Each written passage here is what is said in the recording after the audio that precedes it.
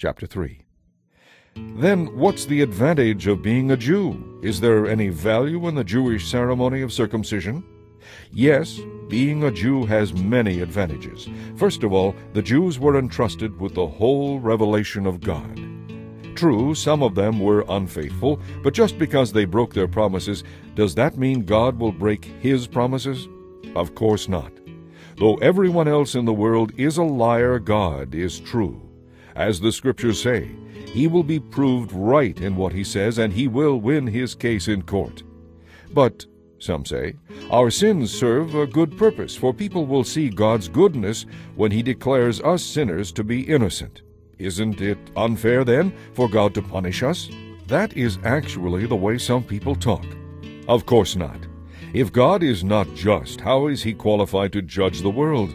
But, some might still argue, how can God judge and condemn me as a sinner if my dishonesty highlights his truthfulness and brings him more glory?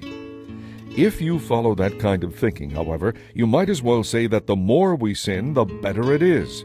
Those who say such things deserve to be condemned, yet some slander me by saying this is what I preach. Well then, are we Jews better than others? No, not at all, for we have already shown that all people, whether Jews or Gentiles, are under the power of sin. As the Scriptures say, No one is good, not even one. No one has real understanding, no one is seeking God. All have turned away from God, all have gone wrong. No one does good, not even one. Their talk is foul, like the stench from an open grave. Their speech is filled with lies. The poison of a deadly snake drips from their lips. Their mouths are full of cursing and bitterness. They are quick to commit murder. Wherever they go, destruction and misery follow them. They do not know what true peace is. They have no fear of God to restrain them.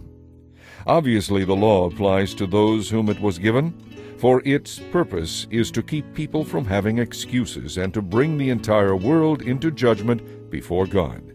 For no one can ever be made right in God's sight by doing what His law commands. For the more we know God's law, the clearer it becomes that we aren't obeying it. But now God has shown us a different way of being right in His sight, not by obeying the law, but by the way promised in the Scriptures long ago. We are made right in God's sight when we trust in Jesus Christ to take away our sins. And we all can be saved in this same way, no matter who we are or what we have done. For all have sinned, all fall short of God's glorious standard. Yet now God, in His gracious kindness, declares us not guilty. He has done this through Christ Jesus, who has freed us by taking away our sins. For God sent Jesus to take the punishment for our sins and to satisfy God's anger against us.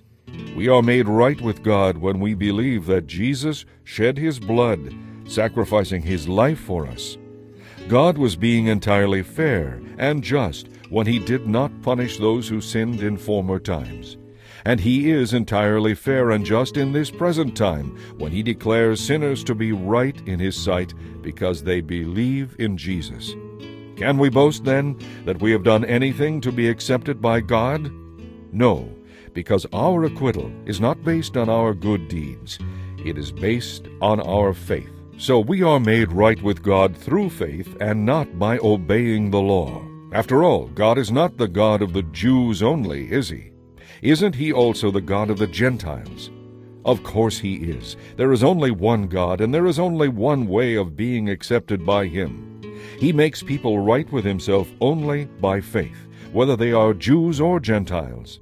Well then, if we emphasize faith, does this mean that we can forget about the law? Of course not. In fact, only when we have faith do we truly fulfill the law.